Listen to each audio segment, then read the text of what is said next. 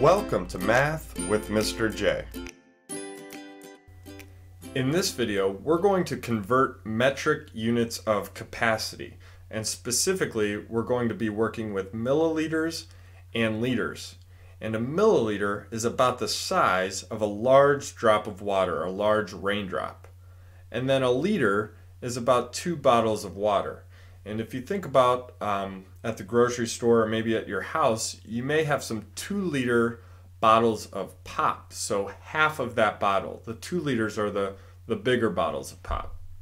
So when we're taught, talking metric, the metric system, our metric units of uh, measurement, there's always a base unit or sometimes called a basic unit, and that's going to be our liter.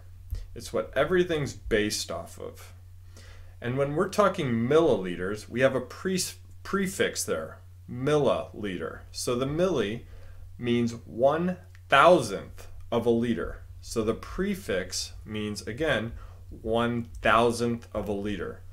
So one liter equals a thousand milliliters. So let's do some conversions. So for number one, we have three liters equals how many milliliters? Well, if one of these liters equals a thousand milliliters, we have three of them. So we need to do three times a thousand, which gives us 3,000. So three groups of a thousand milliliters equals that 3,000 milliliters. Number two, eight liters equals how many milliliters? Well, we have a group of 1,000 milliliters plus 1,000 plus 1,000 eight times. Or we could do 8 times 1,000, which equals 8,000 milliliters. Number three, we're going to go the opposite way. So we have 5,000 milliliters, and we're converting it to liters. So we can think of this, we have 5,000, and we need to split it into groups of 1,000. Each one of those groups of 1,000 is a liter. So we need to do 5,000 divided by 1,000. And that's going to give us 5 liters. Number 4, same thing. We have 18,000 milliliters that we need to split into groups of 1,000. Each one of those groups of 1,000 is a liter. So 18,000 divided by 1,000 gives us 18 liters. Number 5, 4,000 milliliters Again, splitting into groups of a thousand. Each of those thousands is a liter. So four liters.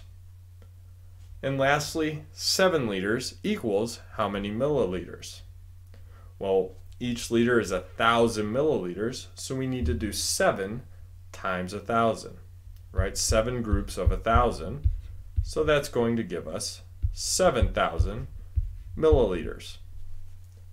So there you have it. There's how you convert between milliliters and liters, both metric units of capacity.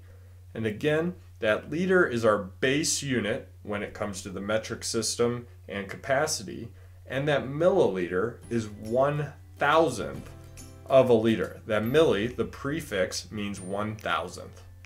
Thanks so much for watching. Until next time, peace.